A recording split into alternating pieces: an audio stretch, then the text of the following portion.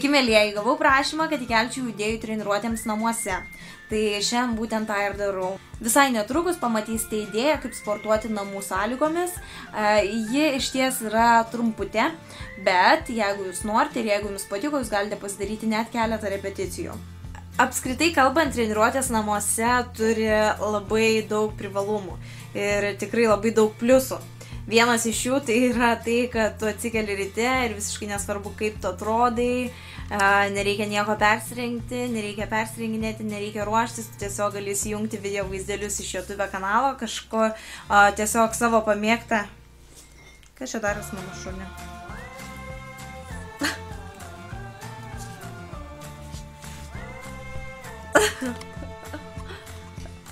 Lucky, nu, nu.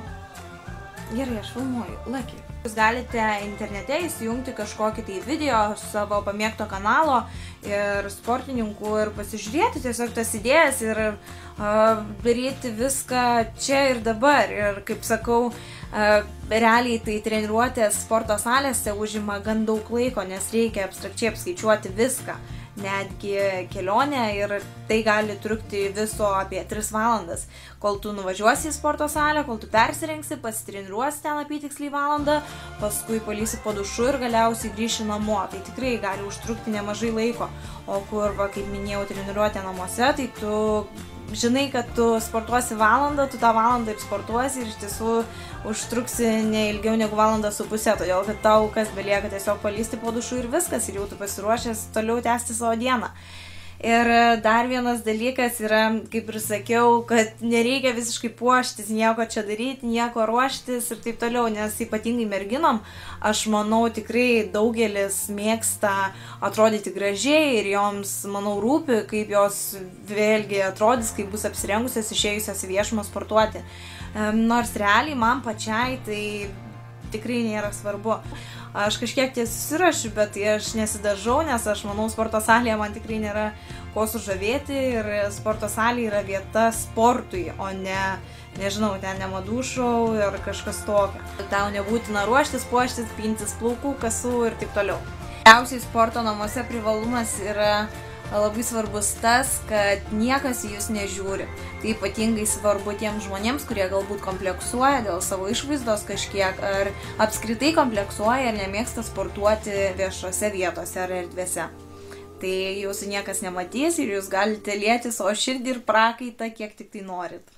Jums sportuojant namų sąlygomis gali prireikti tiesiog keletos svoriukų ir um, to kilimėlio visgi jums gali užtekti jūsų natūralaus kūno svorio ir tiesiog buteliuko vandens, nieko daugiau. Taip pat dar vienas labai svarbus dalykas, dėl ko aš patarčiau dažnai, dažniau treniruotis namuose, tai būtų tai, kad jūs treniruojatės basi ir jūsų pėdos stiprėja. Nuo tų batų, nuo, nuo to tokio įtvaro batose esančio mes um, turime silpnesnės pėdas negu turėdavo, galiu pasakyti, mūsų proprotėviai, ar ne?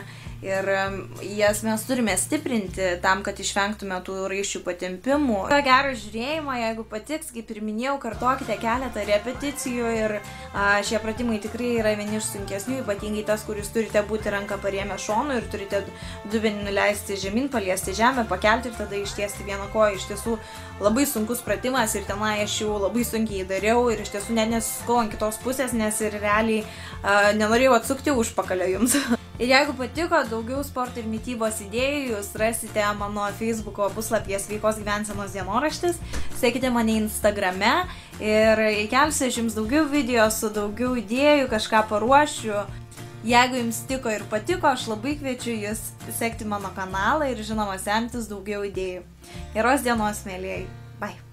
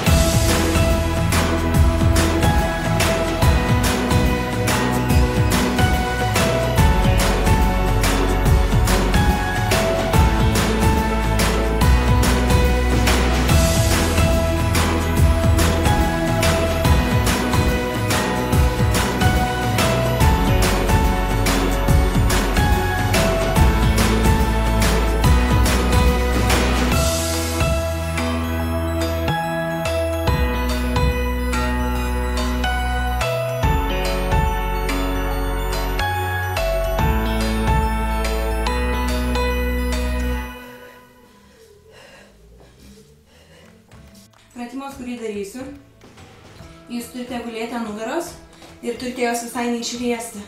E, Tarp nugaros ir žemės neturi likti joksai tarpas, kai tik nedirbsiu su pilvo presas.